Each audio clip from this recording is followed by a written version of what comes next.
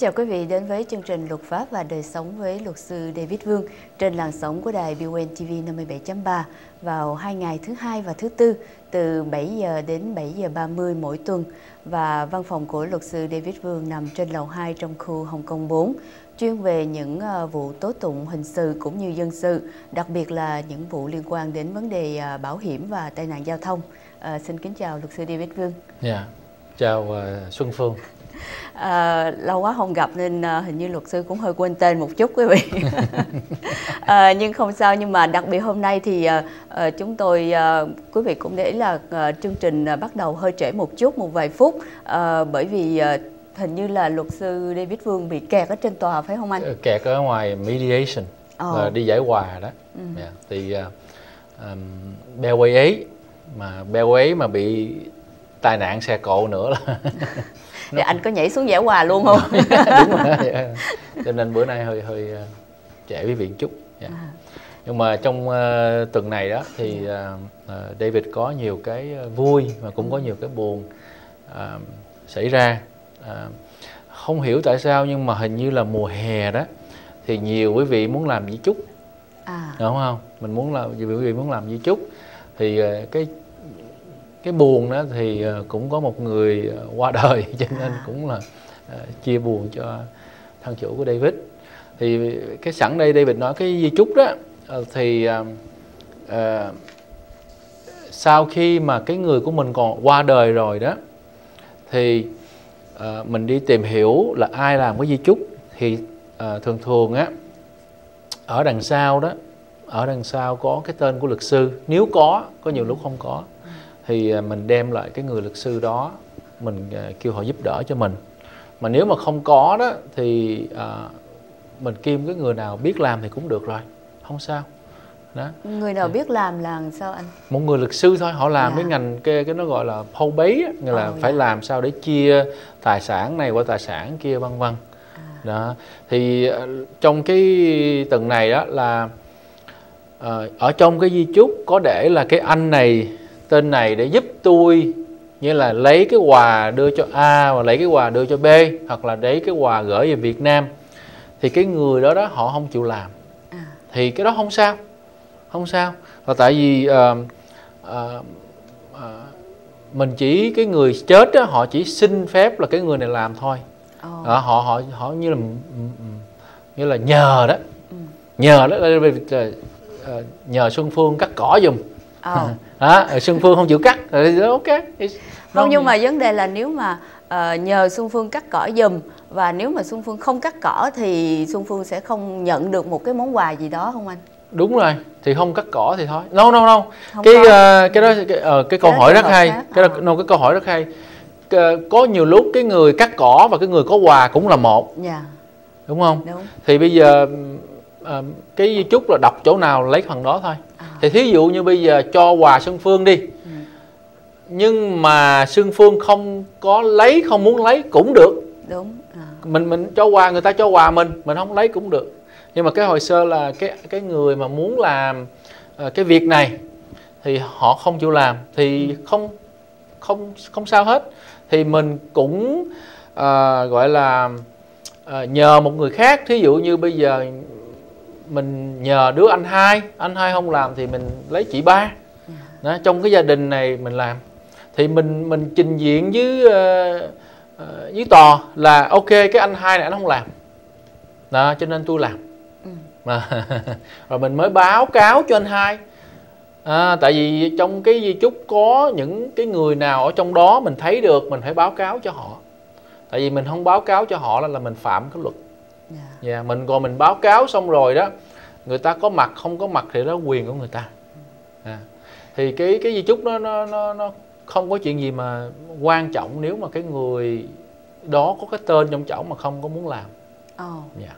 Ờ, nhưng mà để trở lại một chút đó luật sư David Vương thì uh, cái di chúc đó thì hồi nãy như luật sư nói là không cần uh, nhất thiết phải có một luật sư làm giùm cho mình thì có những cái trong trường hợp nào mình cái người mình có thể tự làm hay là uh, có những cái uh, điều kiện quy định chứng từ gì mà mình phải để kèm theo nếu như mình không nhờ luật sư làm ừ. một chút ok cái cái cái cái cái cái cái người luật sư không uh, không không cứ thiết là phải cần luật sư là nó có hai phần cái di chúc á là mình có thể làm cho mình được ừ.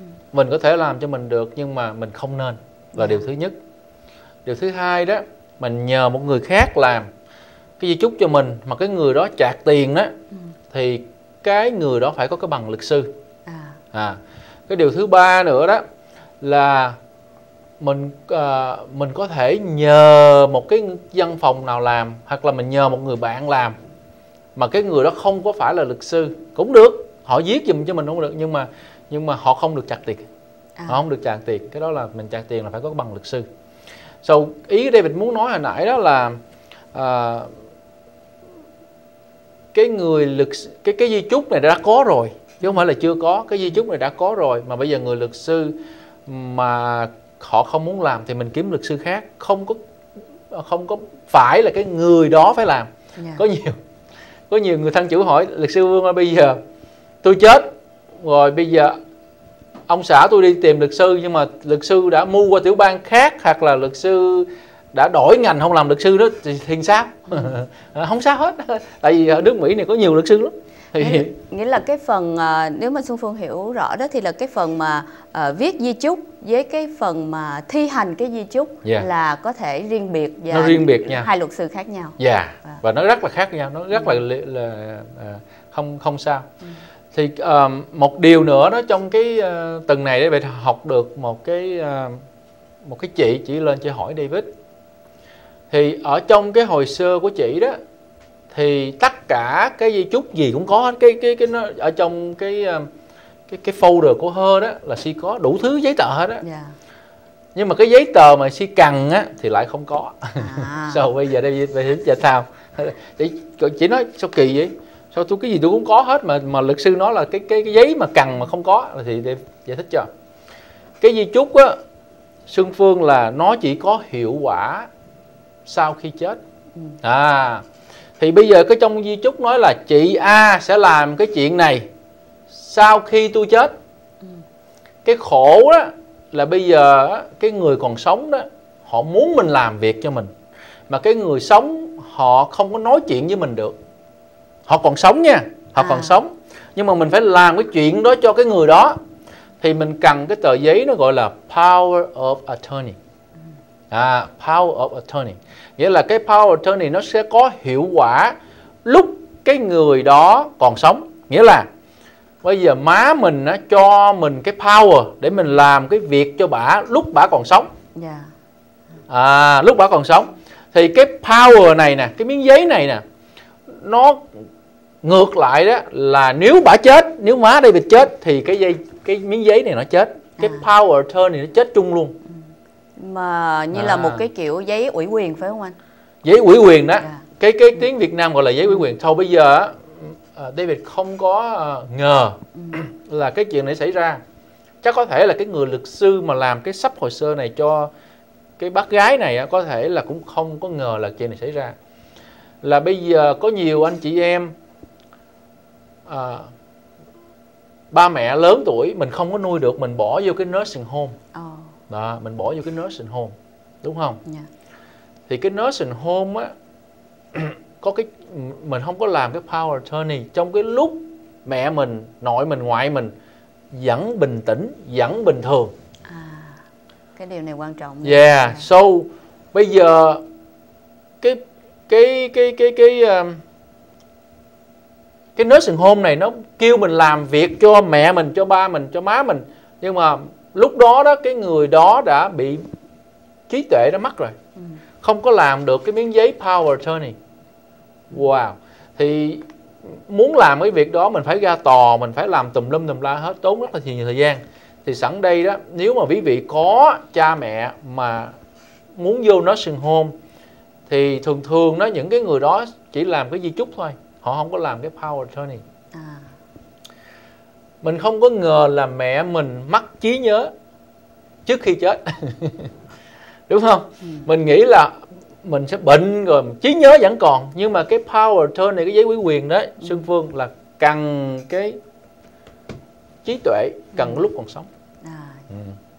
Vâng đây là một cái uh, điều mà có lẽ chúng ta cũng uh, ít để ý đến yeah. Dạ. uh, cũng uh, may là nhờ luật sư David Vương nhắc nhở chứ thiệt ra thì chúng ta đôi khi uh, chỉ nghĩ đến cái vấn đề làm di chúc yeah. Dạ. để mà um, gọi là sắp xếp cái công việc uh, nếu mà rủi có chuyện gì bất ngờ xảy ra nhưng mà thật sự như luật sư David Vương nói thí dụ một người mà có thể trong ngay cả cái trường hợp mà bị tai nạn rồi uh, lâm vào cái tình trạng mà coma hay gì đó yeah. thì tuy vẫn còn sống nhưng mà cũng không có được gọi là có cái um, người ta nói là kêu là gì anh hả? Là giống như là đủ uh, cái tinh thần tâm thần để mà ra đưa ra một cái quyết định thì đó là những cái trường hợp mà cái tờ giấy ủy quyền nó rất là quan trọng yeah. Dạ. ờ, đó là một điều mà có lẽ chúng ta cũng nên uh, suy nghĩ đến thì uh, bây giờ có lẽ uh, xin mời uh, quý vị khán thính giả uh, gọi vào đài uh, trên uh, Xuân Phương xin cho cái số phone của đài hiện lên màn hình À, quý vị có thể gọi vào số 713 429 4046 nếu quý vị có những thắc mắc và cần sự um, giúp đỡ của luật sư David Vương. Xin mời quý vị. Xuân, Xuân Phương đừng có lo, dạ. đừng, đừng đưa số nữa. đỏ hết giờ. Đỏ hết. Nhưng okay. mà uh, trong khi mà chờ đợi đó anh thì uh, Xuân Phương cũng muốn hỏi là uh, trong những cái trường hợp nào mà một cái nursing home uh, cần cái à. uh, quyết định của con cháu anh? mình mình không có nói cái cái cái đó nữa dạ. bây giờ mình đố rồi ờ bây giờ đố. qua một cái đố à, qua cái đố cho nên đừng có lo là điện thoại nó tại sao cũng còn hơi thắc mắc yeah. Dạ. so bây giờ đó là là như vậy ờ, trong cái lúc mà làm việc ngày hôm nay á, luật sư vương cũng bỏ một chút thời gian ra để suy nghĩ à. sau bây giờ câu đố này nha thì ở trong cái cái cái người mỹ á, nó nói là người thành công đó có 10 điều Ừ. Đó, người thành công có 10 điều có thể là Xuân Phương phải viết xuống yeah. Dạ. mà cái 10 điều này đó là chữ C không à chữ C oh. á à, ừ. thì cái điều thứ nhất á, là clarity là rõ ràng ừ. cái người thành công phải là rõ ràng ừ. quý vị nhớ nha điều thứ hai đó là competence là phải đủ khả năng người thành công họ phải đủ khả năng làm cái việc của họ à, điều thứ ba là concentration ừ. là phải gọi là tập trung ừ.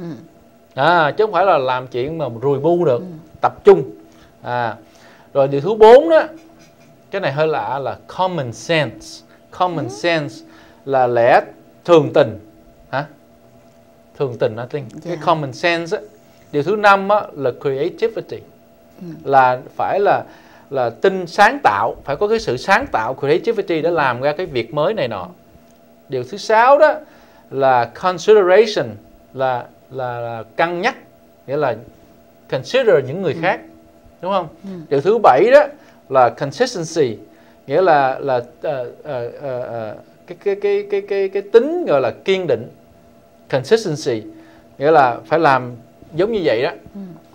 Uh, điều thứ tám là courage okay courage là bản lãnh phải có cái bản lãnh phải có cái cái can đảm. Đó, courage. Điều thứ chín đó là commitment ok? Commitment okay. commitment là là là uh, cam kết mình làm cái việc gì là mình phải có cái commitment trong việc đó. Điều thứ 10 đó là confidence. Điều thứ 10 là confidence là sự uh, quả quyết. Tự tin. Tự tin. Ừ. đố uh, Xuân Phương nè. Dạ. trong 10 điều này ừ. điều nào là luật sư Vương coi quan trọng nhất?